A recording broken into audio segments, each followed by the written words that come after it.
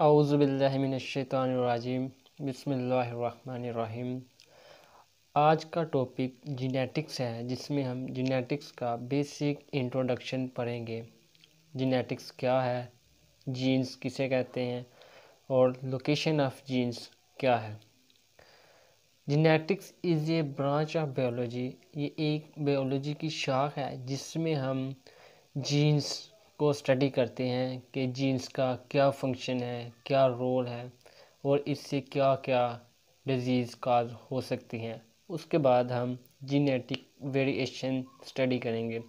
यानी कि जीनेटिक्स के अंदर जीन्स के अंदर कौन कौन सी वेरिएशन किस वक्त पर और कैसे आ रही है।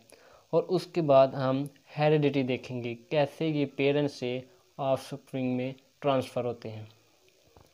सबसे पहले जीन्स की definition gene is a specific sequence of nucleotide ये एक स्पेसिफिक सीक्वेंस होती है न्यूक्लियोटाइड की, जो कि डीएनए और आरएनए दोनों में पाई जाती है। और इसका बेसिक फ़ंक्शन होता है प्रोडक्ट बनाना। प्रोडक्ट यानी कि प्रोडक्ट में भी प्रोटीन राइबोजाइम्स और भी ऑर्गेनाइज हो सकती हैं। हर जीन फोर कंपोनेंट्स का मजमूआ होता है, जिसमें साइटोसिन, थायामिन, एडिनाइन और गवानीन, जो कि डीएनए में पाए जाते हैं। साइटोसिन और गवानीन के दरमियान ट्रिपल बांड होता है और थायामिन और एडिनिन के दरमियान सिंग, डबल बांड होता है। और आरएनए में थायामिन की जगह यूरासिल प्रेजेंट होता है। लोकेशन ऑफ़ जीन्स जीन्स कहाँ पाई जाती हैं? Genes are present on chromosome genes जो हैं, वो क्रोमोसोम में मौजूद होती हैं, जो कि एक थ्रेड लाइक स्ट्रक्चर है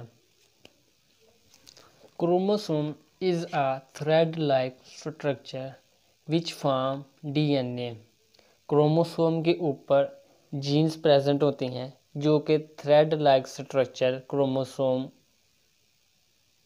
मिलकर डीएनए बनाता है।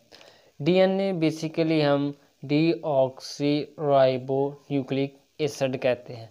डीऑक्सी का मतलब है कि राइबो का जो एक फाइव कार्बन रिंग है, उसमें से एक ऑक्सीजन लेस है। उसमें से एक ऑक्सीजन रिमूव हो चुका है और न्यूक्लिक एसिड का मतलब है कि ये एक एसिडिक नेचर में न्यूक्लियस के अंदर पाया जाता है। इसके बाद डीएनए की location DNA is a double stranded structure which are present in nucleus animal cells के न्यूक्लियस के अंदर पाए जाते हैं और माइटोकॉन्ड्रिया माइटोकॉन्ड्रिया में भी पाए जाते हैं, जो कि एक मेटरनल होता है। मदर के माइटोकॉन्ड्रिया में ये पाए जाते हैं।